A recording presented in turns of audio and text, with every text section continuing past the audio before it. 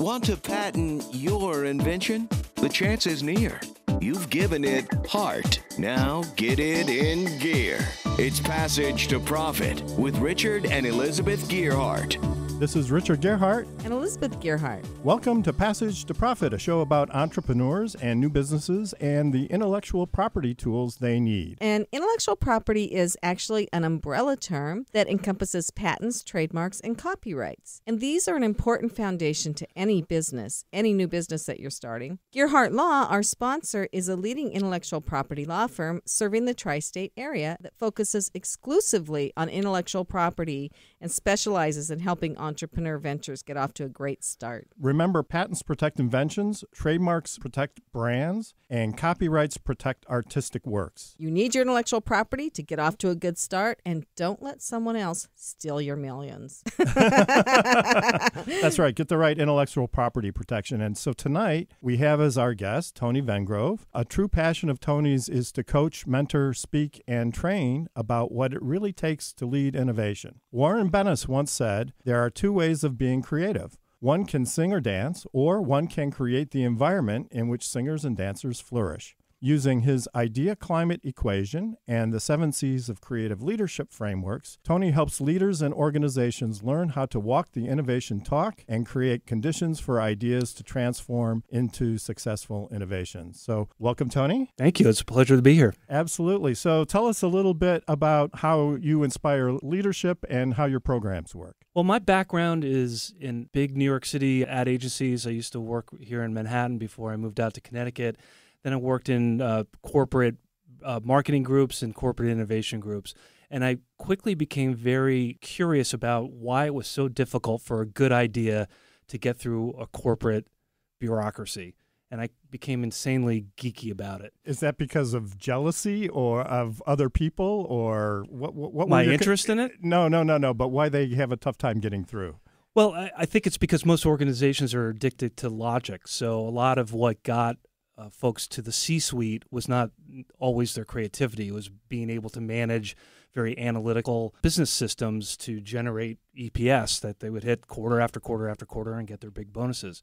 And then all of a sudden, uh, uh somebody like me would kind of schlep in with a PowerPoint deck with this absurd, crazy idea, and they would look at me like I'm crazy and and so so that there's this kind of no cult- wonder you became an entrepreneur. Exactly. But that's you know but that's where this uh, this tension exists. It's like uh, you know a lot of the corporate leaders have a cognitive map in terms of like how their business model works. And when creative ideas come in sometimes that is just too disruptive for their model and they just reject it because it doesn't it doesn't fit in with how they think the world works. I understand that completely. Richard and I are both corporate refugees, and um, and we saw a lot of great ideas wither and die in corporate. Um, so you left the corporate world to start your own ventures. Yes, I first started my own marketing and innovation consulting business called Miles Finch Innovation. And then uh, when we moved, uh, I moved. I was happened to be in Richmond, Virginia at the time when that happened.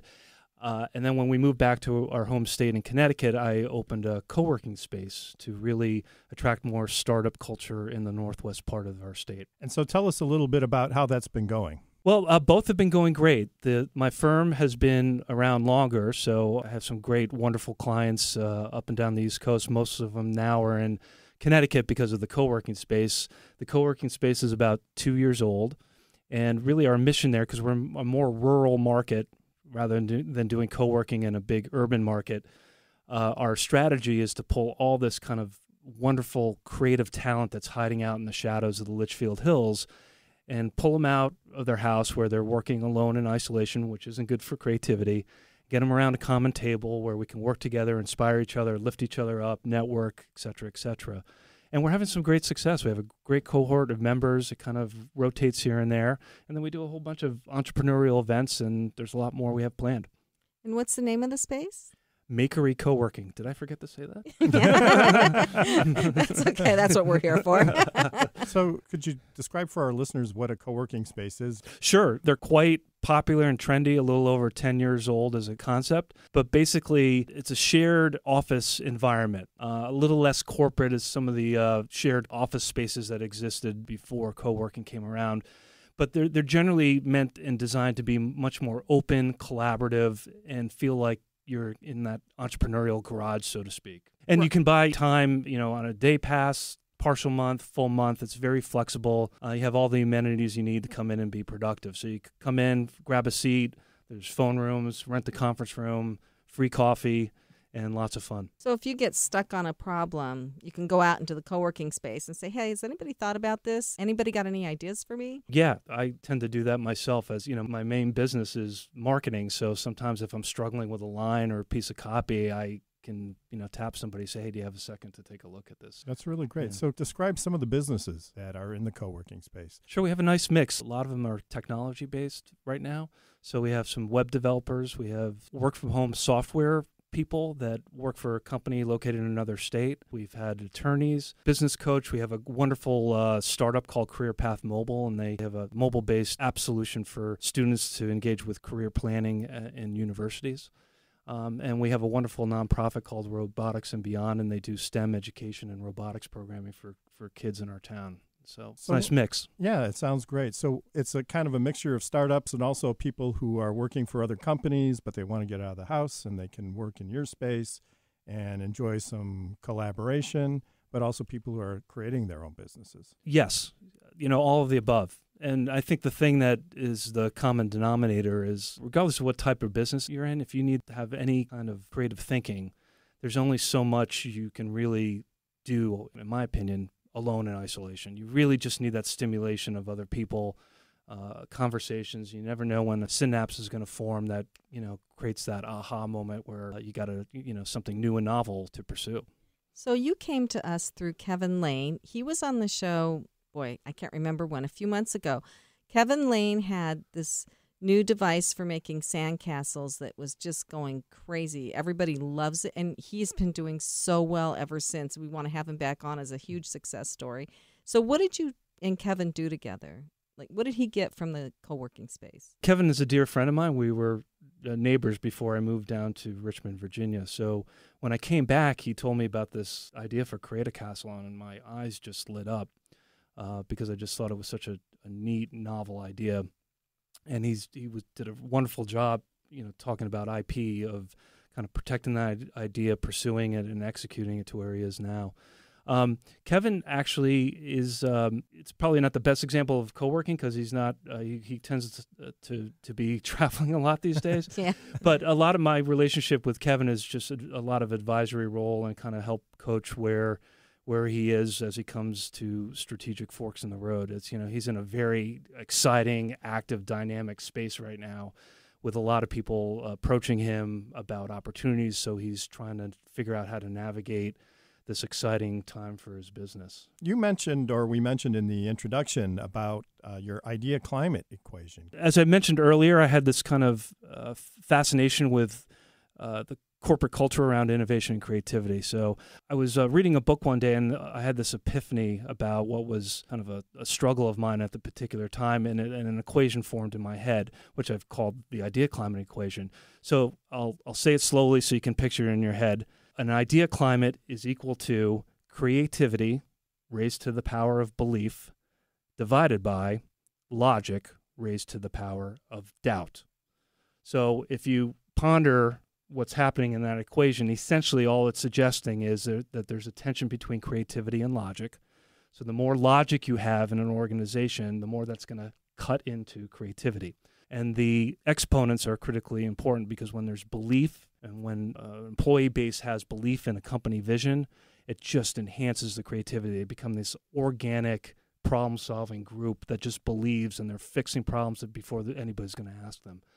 Doubt is equally uh, powerful, but it can be dangerous because when people don't believe and have doubt, they will just use any form of logic, any piece of history to make any new idea feel foolish and uh, silly. So, so I use that equation to talk about and diagnose what's happening in a particular company's culture. Wow, that is really powerful, and I, I agree with all of your comments there. I think doubt can kill a lot of great ideas, and having a, an organization that is really on board with belief in what the organization is doing can contribute so much just to the whole energy of the uh, institution and the work atmosphere and at the end of the day, the productivity too. So that's really a fantastic concept. So we're coming to the end of our segment. We'll be right back after this. You're listening to Passage to Profit with Richard and Elizabeth Gearhart. There's never been a better time to start your own business. The opportunities are infinite and only limited by your imagination and enthusiasm. At Gearhart Law, we believe the most successful companies all have one thing in common they start with a solid foundation first. Gearhart Law has years of experience protecting entrepreneurs' ideas and brands using patent, trademark, and copyright protection. So if you have a new consumer product, a new software application that you're planning to build or sell, or a brand or company name that you want to protect, contact the experts at www.gearhartlaw.com. Our professionals will create a custom strategy designed to fit your needs and your budget. All of our attorneys are passionate about protection, licensed, and qualified to represent you before the United States Patent and Trademark Office. Don't start your project without calling us first. Visit GearhartLaw.com. Together, we can change the world. Visit G E A R H A R T L A W.com. This ad has been read by a non attorney spokesperson. Now back to Passage to Profit. Once again, Richard and Elizabeth Gearhart. We're going to continue our discussion with Tony Vengrove, and then we'll have three entrepreneurs pitching their businesses. They'll have two minutes to pitch and six minutes to answer questions from Tony, Elizabeth, and myself. And don't worry, we've discussed the intellectual property situation with each of our pitchers this evening before allowing them to pitch. Uh, we didn't want them to spill the beans too soon and allow somebody else to scoop up their idea. And make all the money off it. so after the pitches, you, our listeners, can go to the Passage to Profit page at GearhartLaw.com and vote for your favorite pitch. That's Gearhart Law, G E A R H A R T L A W. You can vote for a week, but you only get to vote once. So the people that are pitching need to get their friends to come and vote for them so they get lots of votes. And don't forget to like us on Facebook, Twitter, and Instagram. You can remember the name of the show by imagining you're walking down a passage with a huge pot of gold at the end Passage to Profit. And may your passage be short and your profit be huge. So let's continue our discussion with Tony now. Over the break, Tony, we were talking about the seven C's of leadership. Can you tell us about that? Sure. I developed the seven C's of creative leadership coming out of the idea climate equation because I felt like there's certain behaviors and traits that leaders need to focus on as they're leading uh, innovation and leading creativity in their organization. And I won't go through all uh, seven of them, but it, the first one is communication. So I mentioned belief and visioning, and really a creative leader has to really articulate and demonstrate to their organization that they, without a doubt, believe in their vision. And the road towards accomplishing that vision might be unknown, it might be hard. There might not be a clear path on how to get there, but it's worthy of trying and day after day working closer to getting there. Communication is also very important when it comes to leading by objectives. And so I'm a big proponent of giving your employees, giving your teammates objectives to solve rather than trying to solve the problems themselves. My father was a New York City ad copywriter and creative director, and he kind of inspired me, as you might have guessed. Uh, one of his most famous campaigns was "Oh, what a feeling" for Toyota back in the '80s, and the Toyota oh, really? Jump. I know that one. Yeah. yeah. um, as you might expect, there were some just wonderful things happening uh, during those years, but when that campaign was created, it was just, oh, what a feeling without a jump. And so when they flew out to California to pitch it to the client, they loved it. They went around the room and everybody said, want to do it, let's move forward. And then the last person was probably the most senior person in the room said, I love it too, I want to go, but there's one thing I want you to think about at the end of the commercial. It's just a static, boring shot of a car and it just says, oh, what a feeling. Can you visualize what, oh, what a feeling feels like? And that's a fantastic objective. And my father said, I get it. It's a great objective. I don't have an answer. We'll get back to you. So they fly back home. And at that time, I must have been like 12 or 13 years old. And we had just taken in a stray dog with a Kelly. And she looked like this uh, whippet black greyhound mix of some sort. And I was convinced she was going to be the next Frisbee dog champion in the world. So after lunch, I took her out in the backyard. And I, after two throws, missed through it, hit her as it came down, she kind of yelped, and after that, she would let the frisbee land before she picked it up, and so I was a huge failure. But it was too early to go back in the house, so I was bored. You know, so I held the frisbee up in the air and she to see how high Kelly could jump. And as she was jumping up in the air for the frisbee, my father looked out the window, And he was- Eureka! and he was like, "That's that's what oh what a feeling feels like." So did Kelly get any airtime in the commercial? no. Although my father did use my name in one of the commercials, I forget which one, but Oh, uh, cool. Oh, that's That'd be awesome. and and our fam- and, and and the Vengrove name in another. So it was so it was pretty fun. But but one of those key lessons, especially for founders and, and and founders with a vision of what they think their startup is, as you start hiring and bringing people in, the point of bringing people in and building a team isn't just to spread work; it's to build a bigger collective brain.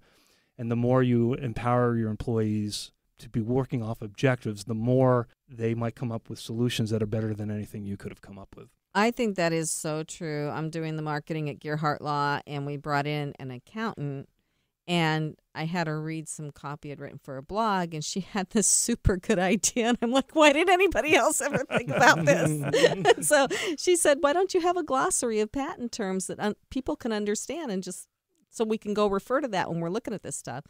And it's like, why didn't we ever think of that? Yeah. The outside perspective, sometimes it's so easy to get in your own bubble, right? But I I love the story because when you say, oh, what a feeling, there are so many feelings. And if you don't put that exclamation point at the end of it, people might get the wrong idea, right? Yeah, So, That's a good point. um, you know, very powerful commercial. And those ads ran for a long time, right? So, what are some of the other C's of leadership? the next one is curiosity. So that you know the communication of that vision, the objective should inspire some curiosity.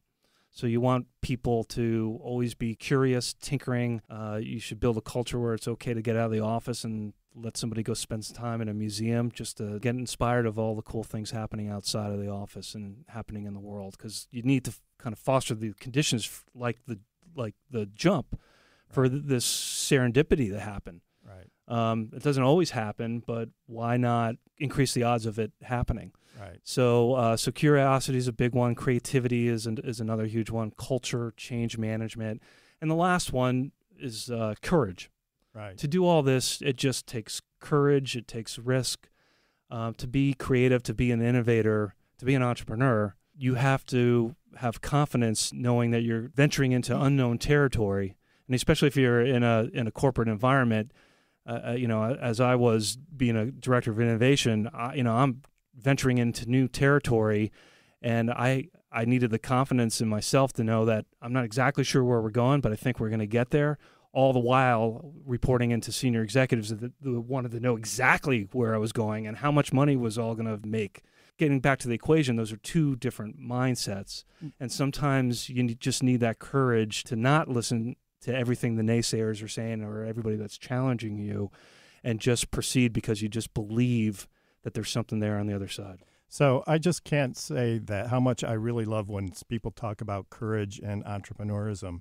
And I've often said that entrepreneurism is courage in executing innovation because you really, to be an effective entrepreneur, you have to have courage, you have to execute, and you have to be innovative. And so I think that that's a key part of the entrepreneurial mindset. So I'd like to add, I don't think we would have any of the stuff that I'm looking at in this room today if somebody hadn't had the courage to go out of the box and make it. And we see so many of those people that are applying for patents. And the thing is that you have to pay for that courage at some point. You have to sell something. And if you make something really cool and you don't have the protection, then your competitor can just scoop it up and it's all she wrote. Absolutely. The whole purpose of intellectual property is to try to protect the investment that you've made in the creativity. So it's having an idea, then developing it, and then making sure that it stays proprietary for you and your company so that your investment and efforts can be uh, rewarded. And there's lots of different ways that things can be protected.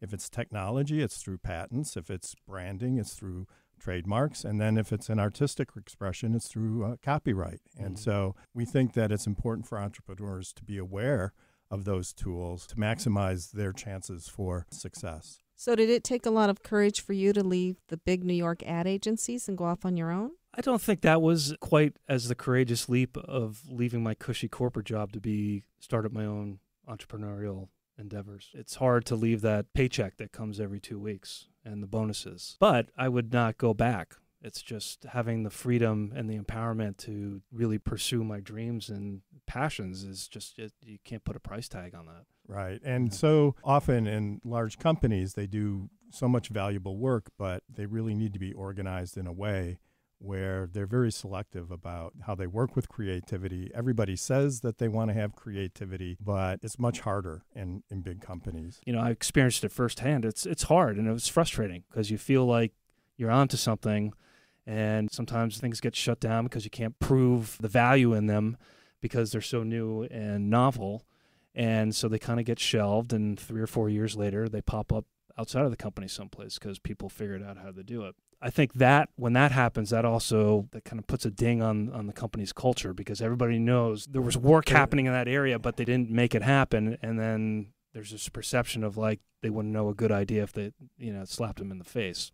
Yeah, and a lot of companies they acquire an interest in an entrepreneurial ventures and keep it separate from the company, just so those things don't happen. So the company doesn't get suffocated and they can continue to innovate and then when it gets to the right point they bring it inside so there's lots of different ways to do it but it's another example of why the entrepreneurial ecosystem is so important because it's not just beneficial to the entrepreneurs but to a lot of larger organizations larger companies that need the technology and uh, the innovation that they can't get internally certainly uh, there's i think an opportunity to kind of make some progress. Yeah, absolutely. So fascinating conversation, Tony. This is Richard and Elizabeth Gearhart on iHeartRadio with Passage to Profit. WOR 710, the voice of New York. What are entrepreneurs' most valuable assets? Their passion and ideas. We can't protect your passion, but we can protect your ideas. Trust Gearhart Law to protect your ideas with premier patent, trademark, and copyright services. There's never been a better time to start your own business. Contact us at GearhartLaw.com. At Gearhart Law, we have years of experience protecting entrepreneurs' ideas and brands using patent, trademark, and copyright protection. So if you have a new consumer product, a new software application that you're planning to build or sell, or a brand or company name that you want to protect, contact the experts at Gearhart Law. www.gearhartlaw.com. Don't let the wrong protection strategy ruin your business. All of our attorneys are passionate about protection and are licensed and qualified to represent you before the United States Patent and Trademark Office. Don't start your project without calling us first. Contact Gearhart Law on the web at G E A R H A R T L A W.com. Together, we can change the world.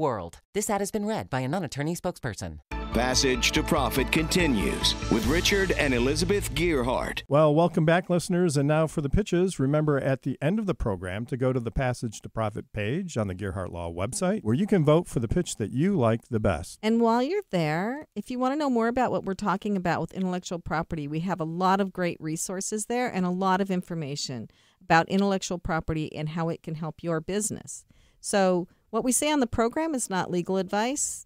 The website's not legal advice, but it has a lot of good advice. You really need to talk to an attorney when the time comes. So, we are ready for our first pitch. Gil Bar-Lev, uh, full disclosure, he's a client of the firm. Welcome, Gil.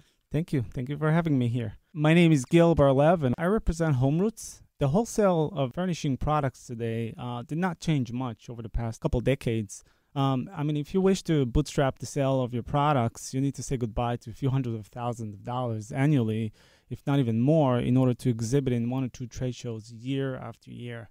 Um, now, if you wish to purchase these products, you will come back from the same trade shows with fixed catalogs, what near from a nearby suppliers were located um, geographically, and and you'll find that flipping through the catalog pages and finding exactly what you want and figuring out the cost, of freight, won't be an easy task. Okay. If you want to sell those products online, you'll need to work with Excel files that come in different shapes and forms from representatives that will offer little or no assistance in getting it to your actual website. And consumers are the ones who suffer the most because they get an inferior or incomplete product listing with an uncertain inventory. Uh, now, I'd like you to explore outside and dream of a new world in which one in a foreign country can penetrate the US market in inequivalent market share in a short amount of time with a small investment of only a few thousand dollars or even hundreds of dollars. I like you to imagine that one does not need to limit the products that are interested in, and they can find it easily in a website that has elevated experience than any direct to consumer website you are familiar with today. I would like you to imagine that one can have these products for sale on your website in a click of a button with all that the consumer needs in order to make a smart buying decision. Imagine that you place an order for a furniture piece and receive it the same day or the following without worrying where the product is coming from around the world. And in a landed cost lower than you can ever imagine. Now, come back inside, come home. There's a new reality, and there's no longer a need to dream. It's called Homeroots. Thank you.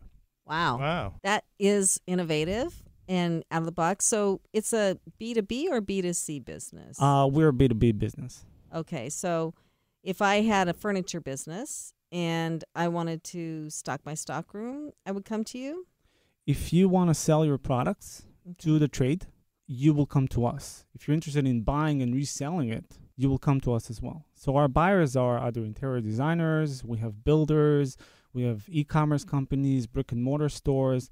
And at the end of the day, if you are a licensed business and you're interested in furnishing your office or your workspace or your home or any of your employees, you will come to us to find what you're looking for. We have a website, e, like an e, big e-catalog, uh, which you'll have to register. We'll have to vet you, make sure that you're a licensed business, and then the gates are open. We have unlimited access to inventory, and it just keeps on increasing and increasing from one month to another. That's great. So, how many vendors do you have on the website right now? So at the moment, we have about 25 active vendors, but the challenge that we're facing that we have more than 200 that want to come on board from different places in the world. Uh, with more than access to a million different products, we're behind on our schedule and we have a huge backlog, um, and that's what's holding us back. Um, if we had all the manpower that we need in the moment, I can assure you we will already have everything available. Uh, we do get inquiries, and even if it's not off- online right now, we do get access to those products, and we we share this information right now offline. So at least you know people can transact and get what they want in a lower cost, and um, or finish up their development projects, whatever they need to do. We're keeping things moving forward. And so the vendors that can sign up, they're you, I think you said they're global. Yes, we have domestic importers that we started off with, and now we're getting requests from international manufacturers who wants to send their merchandise to us in containers in consignment to our warehouses, and we will become their launch pod for all their U.S. penetration market. We will sell to the big box stores. We will sell to the e-commerce, to the trade. We will be their full white glove service as far as selling their goods and you know we we handle the customer support we handle the accounts payable the accounts receivable um, all the entry into the us the, the local distribution the warehousing. We give them everything. They're pretty much i can tell you that the risks that they're taking now in working with us is is slim compared to how it's done until now in industry. You know, we got a sofa and we had to wait three months to get it. Now I wish us. they would have We were, used your we Now were with service. ready to move out of the house by the time we got the sofa. this is over those days are over Well, uh, are you acquiring the inventory once a business places an order, or are you building inventory uh, uh, so it's you're warehousing in the U.S. and then shipping it out as the orders So, come in? so we work in two models. Mm. Uh, we do have a consignment basis where we're offering our vendors to pretty much places their merchandise in our facilities, Mm. and then we fulfill it from our facilities as per the needs. And once we sell it, we basically, you know, pay them on services. We do have some job shipping uh, services as well, meaning if, if we're off here or there and we need to complement it in order to place this in order, then we'll work something with our vendors to kind of find an alternatives. But a lot of it is really done on a consignment basis uh, from our own facilities. That's great. So, Gil, this is a show about intellectual property, and you're a client of our Gearhart Law, uh, intellectual property firm, uh, headquartered in Summit, New Jersey, with offices in New York and Pennsylvania. A little shameless self promotion there, but you got a trademark from us. So Yes, tell us yes, a little bit about that process and some of the challenges that occurred when you were Sure. getting the trademark. Sure. So we we were looking for a name that one will feel close to their heart and something that will give them a worth, warmth, and and security in dealing with us. So you know, we came up with the name. Um, obviously, we did uh, a research to make sure it's not being occupied by someone else. Uh, the challenge was that we saw the name out there when we Google it, but it was not in our category. Uh, so we're able to definitely file the, the trademark and move forward. Wh- When we agreed on the name and we want to move forward, the marketing, designers, developers, business plan, everybody wants to move forward, but the trademark is not yet there, right? Though this process takes months, but we kept on moving forward, kept on pushing. Um, finally, it arrived, and we moved forward. So, how many different names did you consider, and what did you finally decide on? So we had three names uh, that we came up with. It really started off with what we were doing now when we picked the name and who's the clientele and what type of products that we're selling. Uh, so we're looking for something that will resonate with uh, what we're promoting right now on our side. And so that name was chosen first, and with keeping the door open for the other two names, just to represent different types of business model that will come in the hopefully near future. So I think you brought up a point that people don't always realize about trademarks. You don't get to just say, I want this trademark, and oh, boom, you got it, right? It has to go to the United States Patent and Trademark Office, and you have to fight for it sometimes, right? Yes. Yeah, we, we have to do a lot of um, research and to prove that we're actually using the name. The business already started. It was just that we had to wait, and then uh, again, we were asked to provide proof. And what is your website? Uh, the website is homeroots.co. Okay. I welcome everybody to check it out. And if you're a business, whether you want to sell or buy, you're welcome to register. Great. So you're listening to Richard and Elizabeth Gearhart with our special guest Tony Vengrove on Passage to Profit. Hi, I'm Lisa Ascolese, the inventress, founder, CEO, and president of Inventing A to Z. I've been inventing products for over 38 years. Hundreds of products later and dozens of patents. I help people develop products and put them on the market from concept to fruition. I bring them to some of the top shopping networks in the world QVC, HSN, Evine Live, and retail stores. Have you ever said to yourself, someone should invent that thing? Well, I say, why not? Make it you. If you want to know how to develop a product from concept to fruition the right way, contact me, Lisa Ascolese, the inventress. Go to inventing, T O Z.com, inventing A to Z.com. Email me, Lisa at inventing A to Z.com. Treat yourself to a day chock full of networking, education, music, shopping, and fun. Go to my website, inventing A T O Z.com. Now back to Passage to Profit. Once again, Richard and Elizabeth Gearhart. We're on to our second pitch this evening. We're here with Kathleen Edinger, and she's going to be talking about Teascape. You have two minutes. Go. Step away from the chaos of the day, make time for yourself, and enjoy the moment. This is a mantra I've embraced over the years and continue to resonate with every day. So much so that it's become the mission of my company, Teascapes, a tea brand designed to provide a welcome break in your hectic day and transport you into the oasis of relaxation. As a society, we need to make time for ourselves, indulge more often, and make the decision to nourish our health and well being every day. When was the last time you celebrated you? Oftentimes, we get caught up in the hustle and bustle of our work and daily life, but we must remember to take time to reflect, refresh, and ultimately renew our mind, body, and soul. My name is Kathleen Edinger. I'm a former physical therapist, but most now know me and recognize me as the Tea Barista. I'm a certified tea consultant and the founder and owner of Teascapes, a tea company and lifestyle brand that creates premium, customized loose tea blends, tea accessories, and digital uplifting content designed with luxury, gratitude, and family values in mind. Our brick and mortar location in Atlantic Highlands, New Jersey, offers our customers the convenience to enjoy the moment daily. Teascapes Tea Bar offers freshly brewed premium tea, a wide variety of gluten free light fare, a relaxing retail experience, including access to our extensive tea menu, featuring our signature tea blends and tea accessories for every need. Teascapes is a much needed escape for tea lovers and enthusiasts alike. Philanthropy and community connection are both very valuable assets to our Teascapes family. We invite small businesses, authors, musicians, artists, and more to collaborate with us. We are pleased to host on site events. An emphasis is placed on building a strong, supportive community both online and off. Now, all you need to do is brew a fresh cup of our favorite Teascapes tea, sit back in your favorite place, and enjoy the moment. Awesome. Well, nice job. yes, as my husband can attest, I am a tea lover. I've been drinking tea since I was a baby.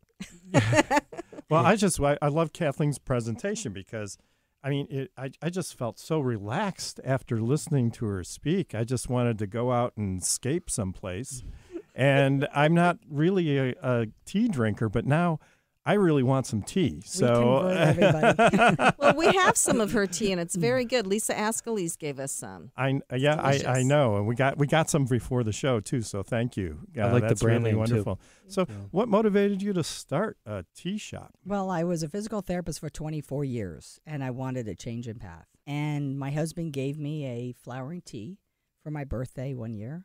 And I went, this is interesting. And I started investigating the industry. I bought a trade magazine. I started looking at where the tea industry was and started sampling uh, some different premium teas out there and realized that it was it's been around for a very long time and it's something that people are really starting to enjoy particularly the millennials. Um, they're they are half coffee half tea. So a big population that i can definitely tap into. Do you like caffeinated or decaffeinated teas more? um, for, it depends on what i need. I, I love green tea but I love all sorts of different types of teas. If I need to relax, then I'll drink an herbal, which doesn't have any caffeine. But we we have over 50 teas in our tea bar, so we have something for everybody, and um, to meet everybody's need as well. So some people can't have tea, sometimes they can have herbal. So it really depends on the person. What's your long term goal or vision for this? Are you looking just to maximize this one location? Are you looking to franchise this and expand? Like, what's what It's interesting thinking? you say that. Um, we're definitely looking to expand in the wholesale arena. My husband and I, um, he's he's working full time right now, but um, we're looking to really start doing more blending and expanding into that arena. Currently working on compliance for that and um, creating blends specifically for the needs of restaurants for the food that's will be exclusive for them wineries breweries it's really the sky's the limit with that and be able to spread spread the way of tea because not everybody is aware of the really good teas that are out there Trade secrets is an important part. yes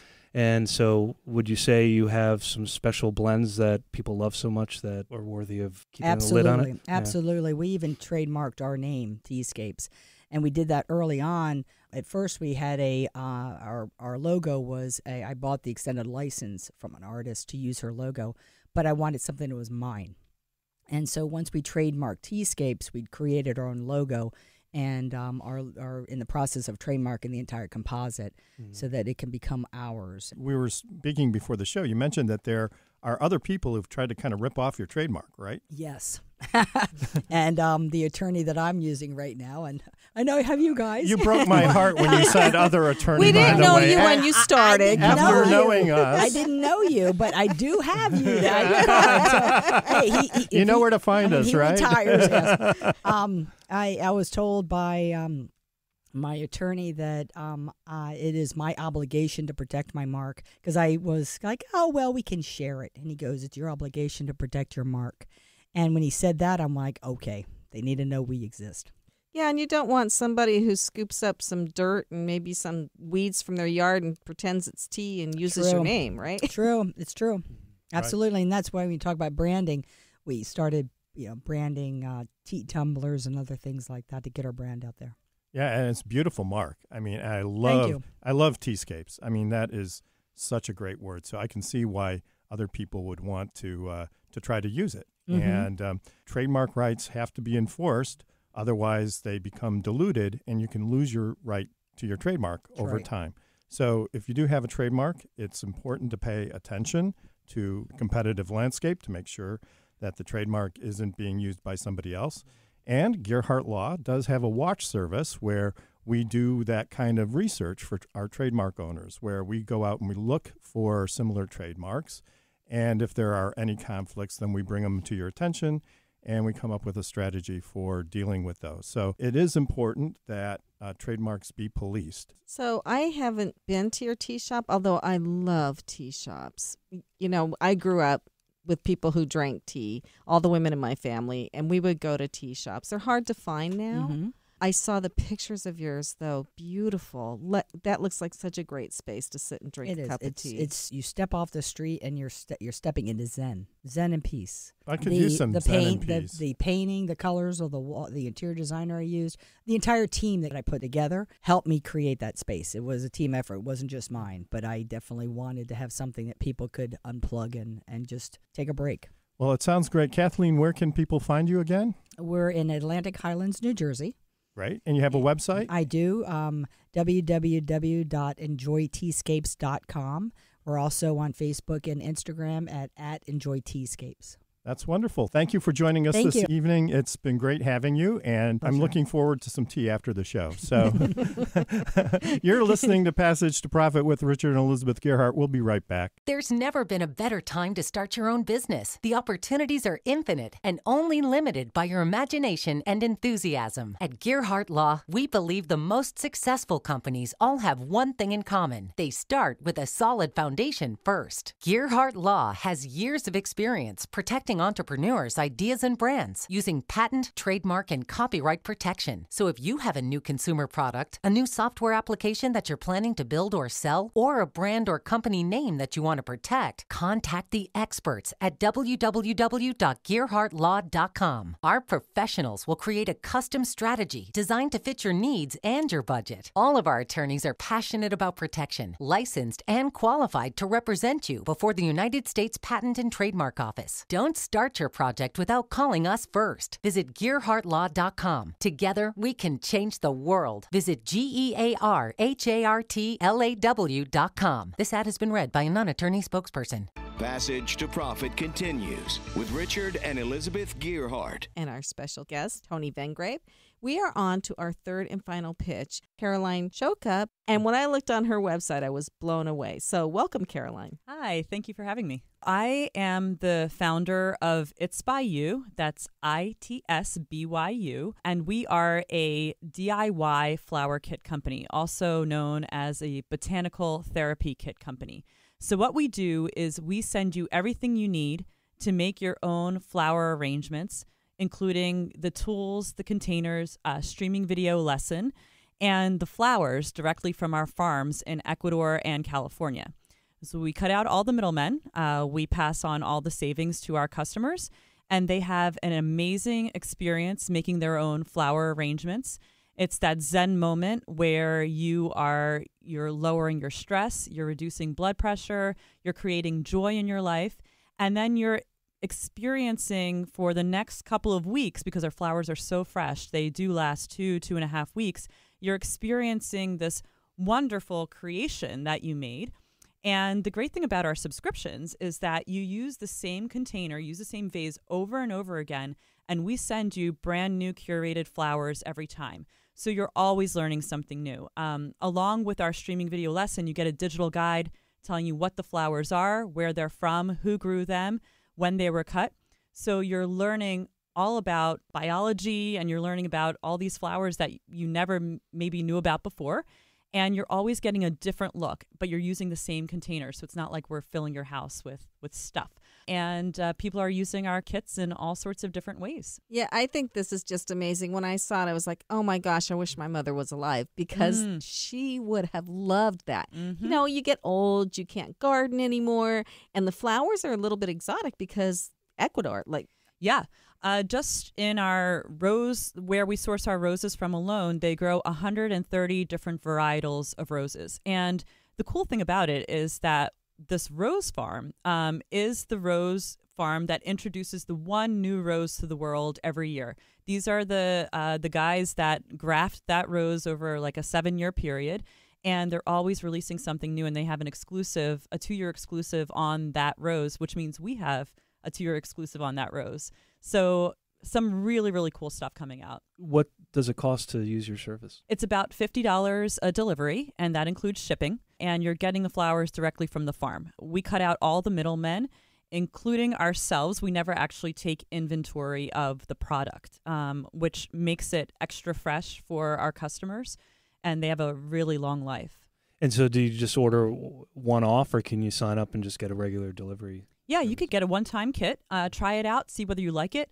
Or you could sign up to get uh, deliveries once a month or once every other week. So that way you always have something new and fresh in your house. So, what about people like me who are florally challenged, right? who don't know the first thing about flower arrangements, Yeah. and I wouldn't even know where to begin. Well, we call it. Well, we don't really have this on our website, but it's kind of kind of like flowers for dummies. Um, we have Where do I sign?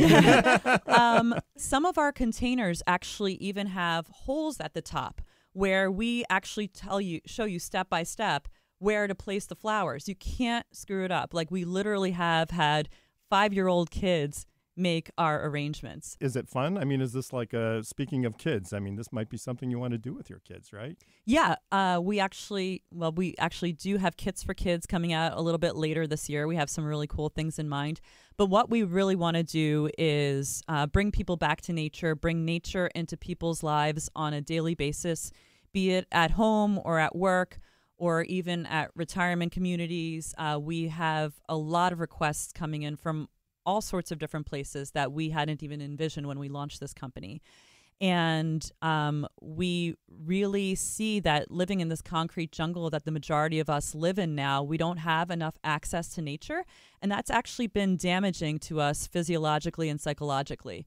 And so we need to bring nature back into our lives. And our It's by You kits are a really easy way to do that. We work with our farms in figuring out what flowers they have available. Um, so different flowers grow at different times of year. And so my sister Christine is actually my co founder. She's an award winning flower designer. She works directly with the farms to curate beautiful designs, usually using a variety of different flowers. So you'll get at least five different varietals uh, will come in your box. And sometimes she's you know, she's choosing flowers based on color, based on texture. She's choosing things that you've never seen before. So, this is one of the things where you are now exposed to brand new, uh, brand new flowers, brand new content, and you're making something that is professionally, it, it looks like a professional did it. Um, and so, we're actually curating for you. Um, and we're doing that based on nature's natural uh, natural creation. So flowers, you know, flower at different times, and and so we're following their schedule. so I think the part that is really great about this, besides anyone can do it and make it look beautiful, is you actually get all the senses involved. You get the tactile, you feel the flowers, you smell them, you see them. I don't know if you hear them. Maybe you don't get all the senses, but I just think being able to touch the flowers and put them in, because usually when you get a bouquet, it's all stuffed together in a little thing and you just look at it. Yeah, um, we kind of see ourselves, we're entirely different from other flower companies because for us, the experience begins and the adventure begins when you open the box. It's not like, you know, usually when you receive flowers and you're like, oh, you know, Joe remembered my birthday. Isn't that great? But for us, it's most of our customers are buying for themselves and they're buying the experience. so it's the experience of making, the experience of diving into this world. Maybe you were always you always loved flowers, maybe you always had dreams of maybe even becoming a florist or you you always had the idea that you would love to take a floral class but there's no one offering them around you. So this is almost like almost in a way like a floral class in a box. We ship all over the country, mm. uh, continental United States, uh, directly from our farms in Ecuador and also in California, um, all via FedEx. And we use cold chain throughout the process, so that way the the flowers once again have uh, an extra life.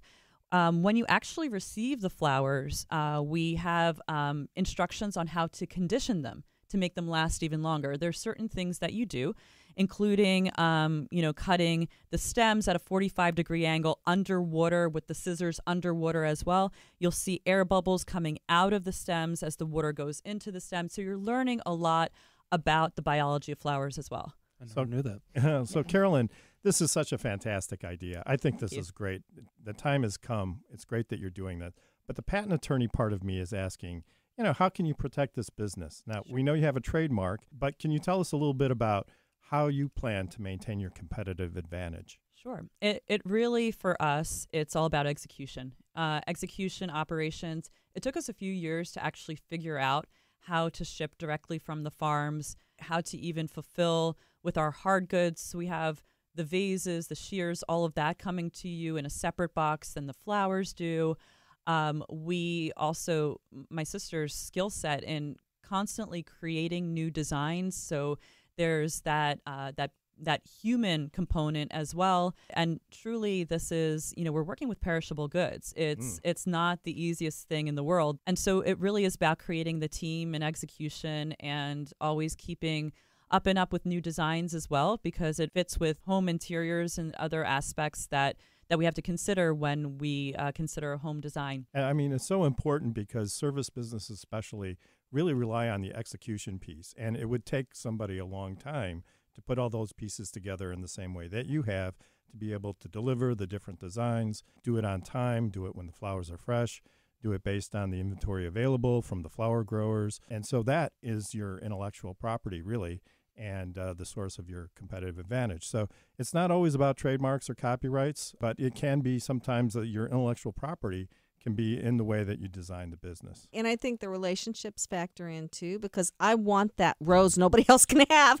right? and I, I, would give it to somebody, you know. So I think those relationships are important too. Do you have kind of a strategy outside distribution growth around product innovation? Are there other things that you think you can create to sell through this business? Um, we do believe that there's huge enterprise parts of our business in addition to direct to consumer and we're exploring those right now and we're also exploring some uh, retail concepts too. So uh, more to come this year and next with it's by you. The website is itsbyu.com this is really great. So if i go on your website i can order one of these and try it. Yes indeed. Yeah. Today. Yep. okay. Mm-hmm. Awesome. So you are listening to Passage to Profit with Richard Elizabeth Gearhart and our special guest, Tony Vengrove. What are entrepreneurs' most valuable assets? Their passion and ideas. We can't protect your passion, but we can protect your ideas. Trust Gearhart Law to protect your ideas with premier patent, trademark, and copyright services. There's never been a better time to start your own business. Contact us at GearhartLaw.com. At Gearhart Law, we have years of experience protecting entrepreneurs' ideas and brands using patent, trademark, and copyright protection. So if you have a new consumer product, a new software application that you're planning to build or sell, or a brand or company name that you want to protect, contact the experts at Gearhart Law. www.gearhartlaw.com. Don't let the wrong protection strategy ruin your business. All of our attorneys are passionate about protection and are licensed and qualified to represent you before the United States Patent and Trademark Office. Don't start your project without calling us first. Contact Gearhart Law on the web at G E A R H A R T L A W dot com. Together, we can change the world. This ad has been read by a non attorney spokesperson. Now, more with Richard and Elizabeth. Passage to Profit. We've come to the end of our presentations this evening, and tonight we learned about how sometimes you can't always get the trademark you want right out of the bat. Sometimes you have to look at a lot of different trademarks and pick one that's available. And another thing that we learned about how, how important it is to enforce your trademarks and how to keep watching out there. If you have a really good mark, somebody else may want to take it. And so you got to pay attention and keep that trademark all to yourself. So remember, everyone, to go to the Passage to Profit page at gearhartlaw.com and vote for your favorite project. So to summarize, we had Gil Bar-Lev from Homeroots. Next, Kathleen Edinger pitched Teascapes, www.enjoyteascapes.com. And finally, Caroline Strzalka pitched It's By You. So it's byu.com. That's great. And you can Google Passage to Profit and make your choice. Remember, you can only vote once, and you have until next Sunday at 7 p.m. to vote. This evening's pitch contestants will receive a Passage to Profit t shirt, and the best overall vote getter for the show will receive an Amazon gift card valued at $25. And before we sign off, I just want to say I really enjoyed this today. I mean, what is better than tea and flowers on nice furniture? that was very right? good the way you pulled all those things together. I making a purse, uh, silk purse out of a sow's ear, right? so we love hearing these pitches each week. Yeah, and I, I, agree that the pitches were wonderful. And I want to say thanks again to our guest, Tony Vengrove. You took us over the top so many ways, Tony. Well, thanks for having me on the show. It was great uh, time. I really enjoyed it. And if anybody's interested in what I'm doing, um, my company's website is www.milesfinchinnovation.com. So we would like to thank our producer, Noah Fleischman, Rob, our engineer, and Kenya Gibson, our media maven, and the whole iHeart team. So don't forget to join us next week. You never know what you're going to hear on this show, but it will be excellent. And you can start thinking about what your pitch will be. And also start thinking about your intellectual property needs and look us up on GearhartLaw.com. And don't forget to like us on Facebook, Instagram, and Twitter. This is Richard and Elizabeth Gearhart on iHeartRadio with Passage to Profit. WOR 710, the voice of New York.